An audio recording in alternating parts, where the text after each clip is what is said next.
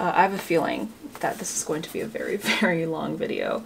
But think of it kind of like a podcast. You know, you can put me in the background and paint yourself, clean your room, work on homework, you know, do all those good things. I just wanted to take a quick moment to thank Skillshare for partnering with me on this video. Today I thought that we would do a little bit of a different kind of video. I have a graduation cap that I was supposed to wear during my commencement ceremony that is happening in four weeks. Kind of crazy, I can't believe I'm graduating in four weeks. Since the class of 2020 no longer has the opportunity to participate in a real live commencement ceremony, I thought that I would still paint my cap anyway and do a little bit of a Q&A slash college advice slash the things that I learned from my time in university. I'm using a selection of the Turner Acryl Gouache in the Japanesque colors. I'll leave all the colors that I'm using on the screen as well as in the description box. I posted on Twitter asking if you guys had any questions about my time at community college or at UC Davis. I've compiled a small list of questions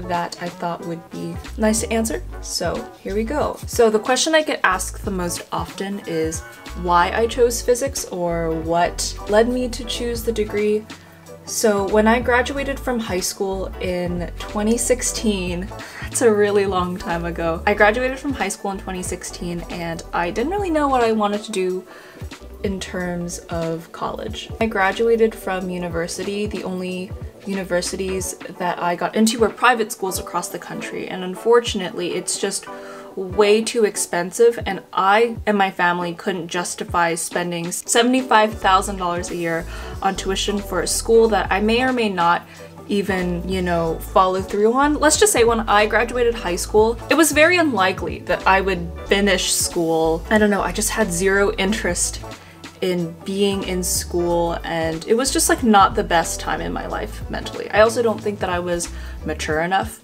to go away for four years and my mental health wasn't the best. So I thought that it would, my family and I decided that it would be the best if I stayed at home and went to community college instead. Which, hindsight 2020, I am so, so grateful that I went because those two years at community college, I went to Moorpark College down in Moorpark, California, in case you're very curious. I'm very proud of being a community college graduate. Um, and I am very, very proud of the community college that I went to, so I have like no problem sharing that information. But yeah, I went to Moorpark College and I still had no idea what I wanted to do.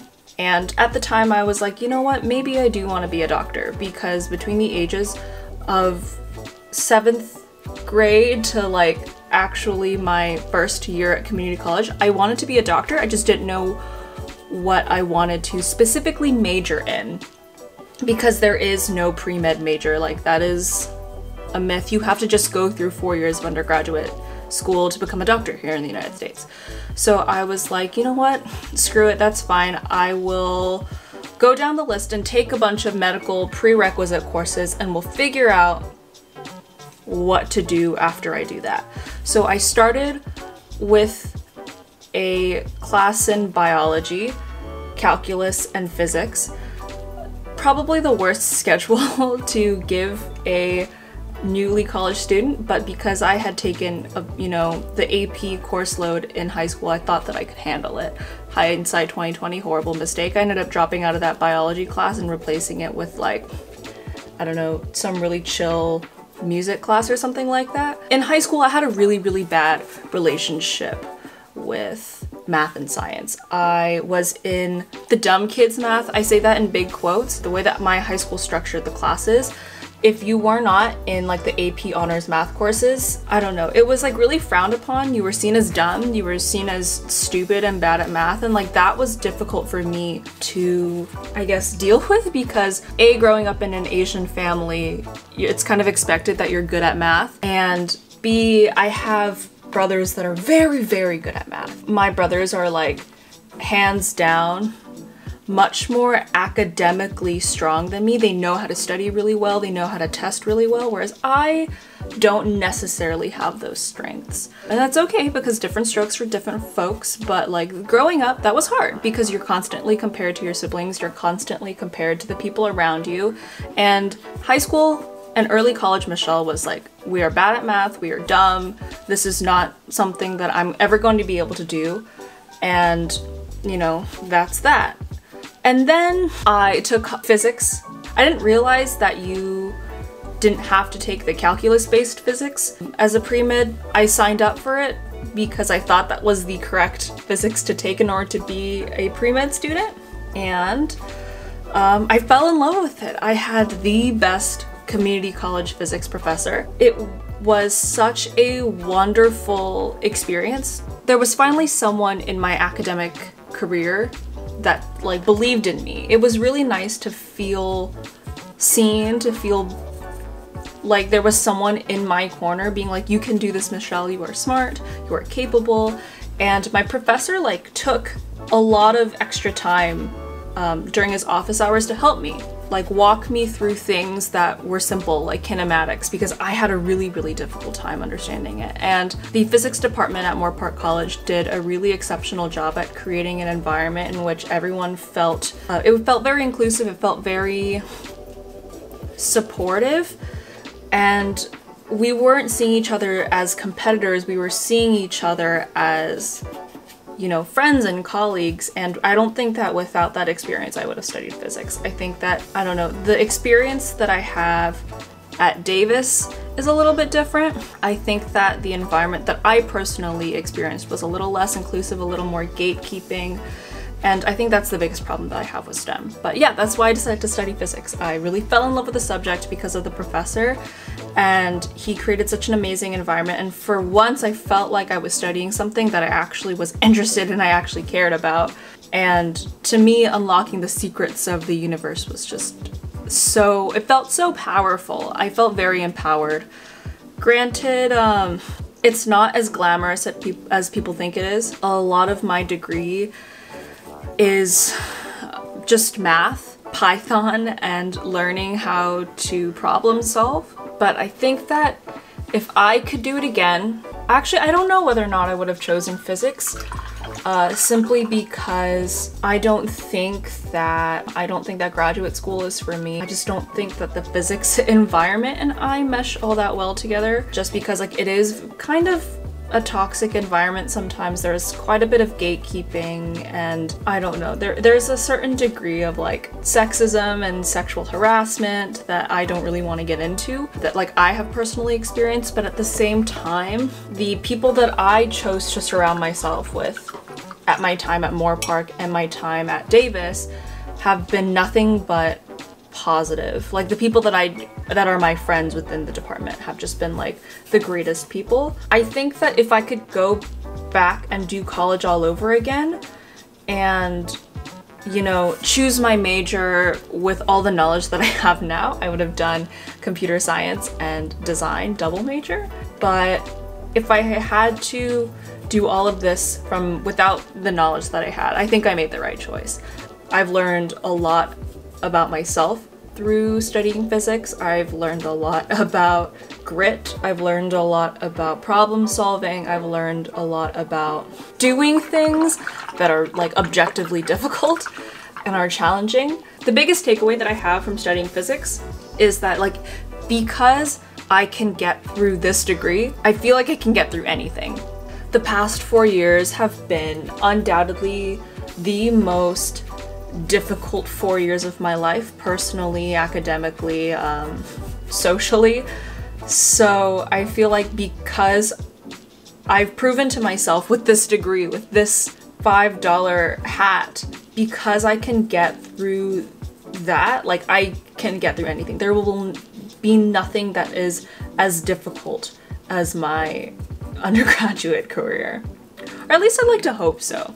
I know that's probably not the case, but um, I'm very proud of myself. I'm proud that I didn't drop out of physics.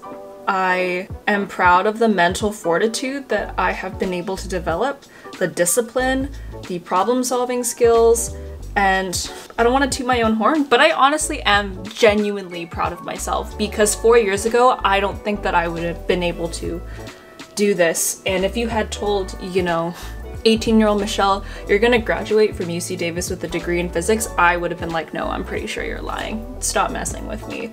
Because my relationship with mathematics has improved a lot.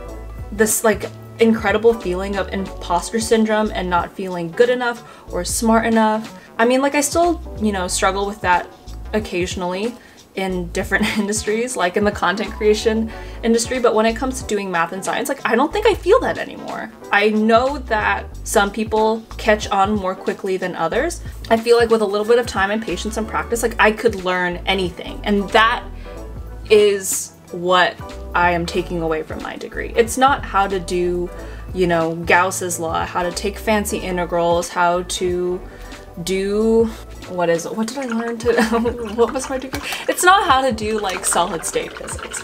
It's the fact that because I have this very broad skill set of mathematical, scientific, and you know, communicative ability, I feel like I can learn anything. It's just a matter of whether or not I put in the time to learn it. Um, and like that, that feels very empowering. The world is your oyster. All of the knowledge, the secrets of the universe can be unlocked if you put your time into it. So I also received quite a few questions about my um, experience as a woman in STEM and I will say it hasn't been the prettiest or the nicest or the most enjoyable road. What's unfortunate is that I have experienced, you know, like sexual harassment in labs, whether it's like verbal or physical. It's all shitty. I've also had people call me like stupid or slutty or be a general dickhole to me because I guess for some reason when I'm in class in, you know, my heels, I talk to my friends about like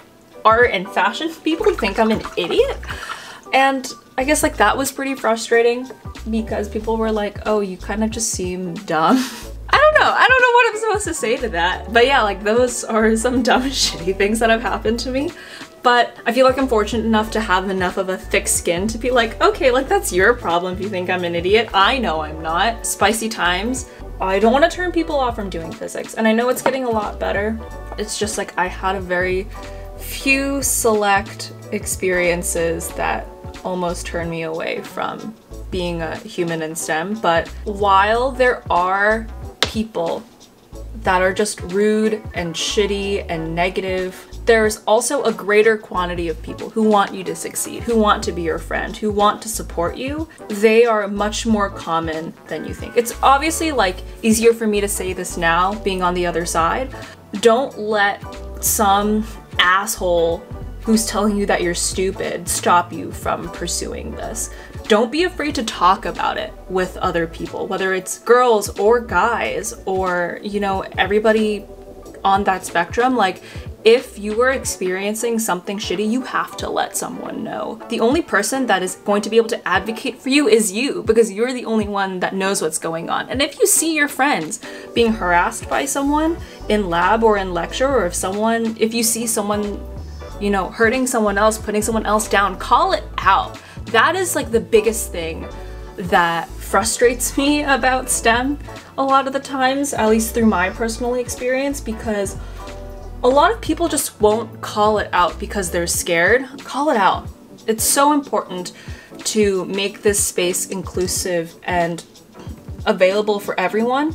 And we can't create inclusive spaces if we aren't going to support the population's most vulnerable. Don't allow negativity and harassment to happen. Then you're just as complicit. Be an ally not a bystander. So I get a lot of questions about community college versus UC Davis, so this is the part of the video where we'll address all of those cues. Community college versus UC Davis in terms of academic rigor, I gotta say, um, at the very least, with the community college that I went to, we had a really strong math and science department. Also, calculus is calculus everywhere. Intro to physics is intro to physics everywhere. Between community college and Davis, I would say that you're getting the same information, you're getting the same teaching, and I will say, all of my friends that went to community college I think that we generally had a more positive first two years of undergraduate experience because at community college, the professors aren't there to do research. They're not there to produce for the university the only job of community college professors is to teach. And so, because of that, I had some of the best educators, educators that were genuinely interested in my success and had a vested interest in my success. And because of that, I think I have a better understanding of the material than if I would have gone to Davis um, and taken calc and intro to physics here. I think that community college is also a lot more flexible in terms of the kinds of courses that you can take because you're not on a super strict timeline. You can go to community college for three years instead of two, like a lot of my friends did, and take a broader range of courses. Like I took ballet at community college basically every single semester I was there, and it was amazing. And that's not something that I would have had the opportunity or the money to do at. So I will say, I saved a shit ton of money by going to community college.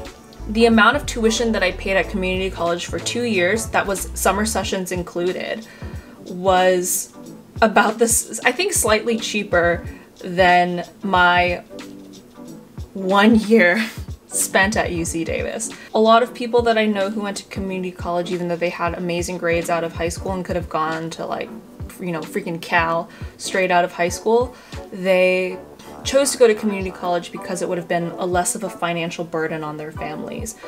I think some of my best undergraduate experiences came from community college and it's a kind of environment that I don't think is replicable in a traditional four-year university setting because nobody at CC really has an ego you know, whether or not you are the top of your class or the bottom of your class, we all are in the same place. We're all looking to transfer. We're all looking to, um, you know, grow as human beings and quote unquote get out of CC.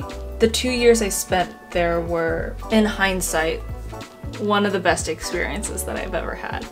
Um, so in terms of academic rigor, I would say it's the same, but the community that community college offers is unlike anything else. Like, I met my best friend at CC. Donya, if you're watching this, um, you know. Some of my favorite people are community college people, and even at Davis, we have a pretty tight group of community college transfer students in the physics department, and I'm also really grateful for that.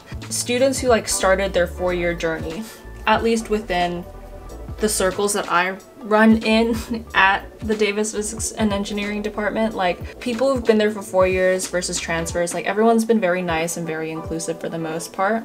Yeah, I'm just very glad to go to a school that isn't um, that is very inclusive, or at least tries to be, and is full of good, wholesome people. So this part of the Q&A is all about my college experience here, like partying and stuff. um, I don't know why I got all nervous. I did a nervous giggle. Don't worry, mom and dad, you can watch this. There's nothing uh, illicit or sketchy going on.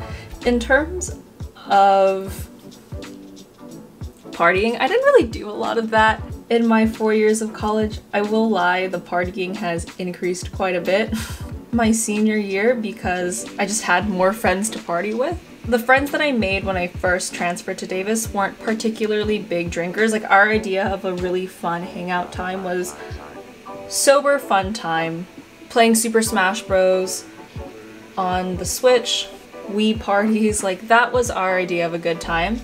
And I genuinely love how wholesome my friend group is. But when senior year started, kicking in and I was getting really, really done with school. I mean, like, I still feel like I'm pretty uh, done with school, but I met a group of friends that were into craft beer and craft alcohol.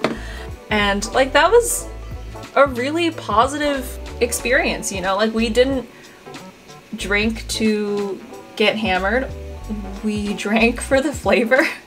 we went to breweries and bars um, do beer tastings and wine tastings and yeah, like I think that is what I miss the most about school not being in session legit. Because like my my friends and I had all these fun plans. We would hit up breweries. Um, I was supposed to go beer tasting for my 22nd birthday uh, which happened the day of the lockdown. So we couldn't go which was a really big bummer and things like that. But if you're into drinking, there are people to drink with. If you're not into drinking, you don't have to drink. If you are looking to get really pretentious with your drinking, there are obviously people for that. You shouldn't feel pressured to drink or smoke or party or, you know, do things that you're uncomfortable with in college because whether you go to like Davis or UCSB, which is known for partying, um, there are going to be people there for you. And like a really good group of friends shouldn't pressure you to do things. Like I personally don't smoke or do any of the sticky icky because like I personally I hate the smell of it. But I have friends who do. They have offered me but I have personally never taken it and they've never pressured me into participating.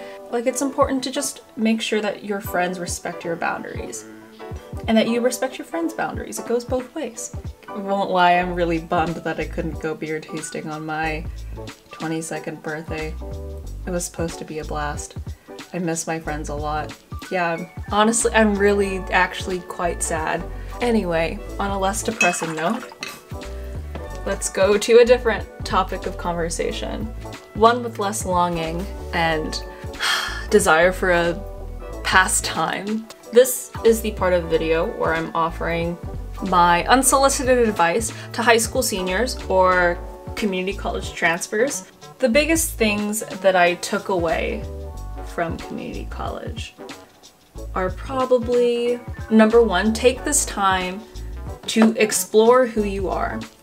Even if you are very confident in who you are as a person, um, you've just spent the past 18 to 22 years of your life at home. There's a good chance that you haven't had an opportunity to know what you're like when you can call your own shots every day for an extended period of time in your life. Use college as an opportunity to explore yourself, to explore your interests. So just know that the next period of your life in university, you get to call the shots. You get to choose whether or not you get to do certain things. And don't be afraid to say yes to the experiences and opportunities that are offered to you, within reason, of course. If a professor asks you to do research with them and you are dying to do research with them but you don't feel like you're good enough, say yes. If there is a romantic partner individual in your life that you would like to go on a date on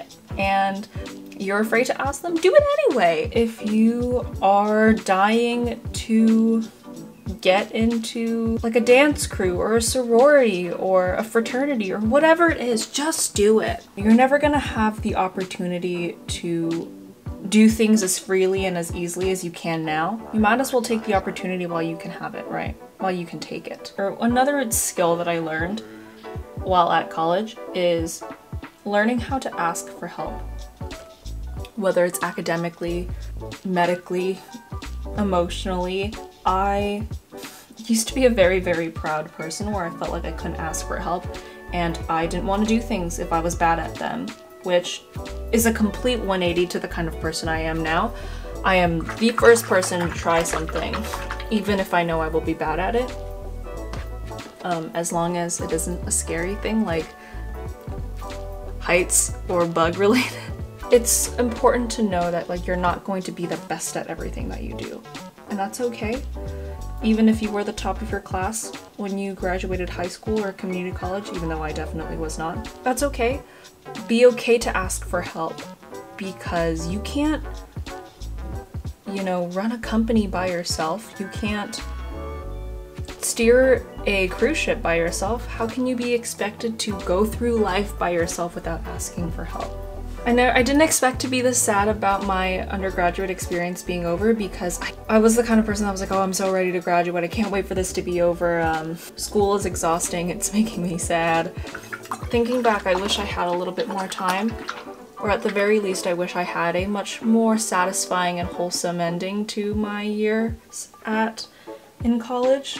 I wish I had a graduation commencement ceremony, but I need to learn to accept the things that I cannot change well, what can you do? What can we do about this? There's nothing that we can do, so we might as well just accept that this is our reality and make the best of it, right?